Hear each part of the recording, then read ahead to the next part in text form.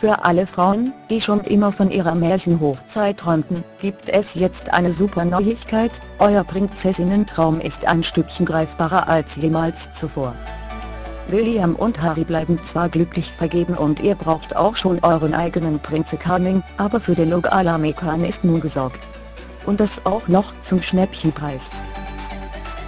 The Royal Look Follies hat nämlich eine Kopie von Herzogin Mekans Hochzeitsdiadem entworfen, das nicht einmal 25 Euro kostet.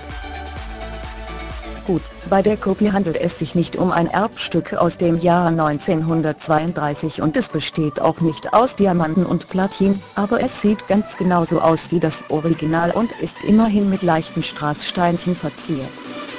Der Reif ist exakt dem Diadem nachempfunden, das die Mary vor etwa 90 Jahren besaß.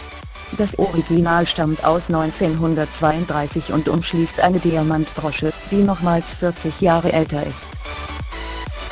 Der Reif ist exakt dem Diadem nachempfunden, das die Mary vor etwa 90 Jahren besaß. Das Original stammt aus 1932 und umschließt eine Diamantbrosche, die nochmals 40 Jahre älter ist.